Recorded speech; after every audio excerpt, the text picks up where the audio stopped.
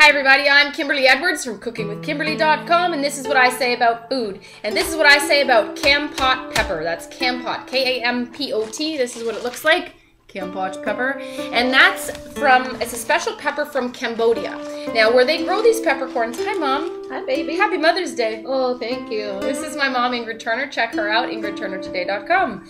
So, um, we're just talking about the Kampot pepper that I got Mm-hmm. from kampot-pepper.asia. I got them online. I didn't get them at my grocery store. They're a rare, more rare pepper to find, so you have to look for them online. Mm-hmm. Now I got three different varieties from them. One is black, one is red, and one is white. Okay, they're from the same plant, grows the same way, all as well. They're just harvested at different times and treated in a different way.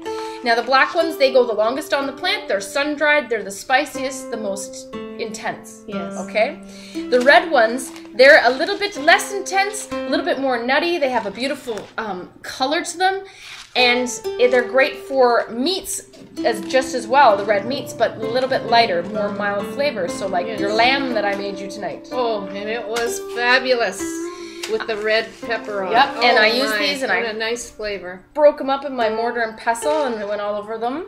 Delicious. And then the white ones, it's more of a, I, for lack of a better term, a pepper whisper. It's not that soft, but it's much less intense than Maybe these guys. something you'd want to use when you're making a dip, or or um, something uh, a little pate or something that you don't want overpowered. or pepper. anything light in color so that it just blends Yes. in. Yes. The thing I was super impressed with with these particular peppercorns from this um, site that I got them from is that the peppercorns are so big and plump, big whole giant No, peppercorns. They're gorgeous. And they're so uniform in size. I was shocked because sometimes you get peppercorns in bottles, and there's some are like this big and some are great big honking these are like little currants almost. They're perfect, and it's and like- so perfect. It's like somebody actually went through and sorted them. yeah, they're super good. Anyway, I hope you guys try these out, check them out. Not all pepper is created alike. There's all different kinds of pepper out there. If you didn't check them out, make sure you check them out on my site.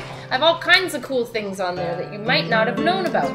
Peppercorns can really give you a super um, change in pepper flavor, mm-hmm. right? Not just that same old, you know, shaker pepper that you've used your whole life. Try some different stuff out. You'll be surprised at how different they really are. Right. Pepper isn't just pepper. Nope. I mean, each one has its own attributes, and oh my, Absolutely. it does wonderful things for your food. These are very floral, they're very mm-hmm. spicy, they're fragrant, they're aromatic. So fresh. Lovely. Anyway, I hope you check them out. Kampot-pepper.asia. And check out my mom, IngridTurnerToday.com.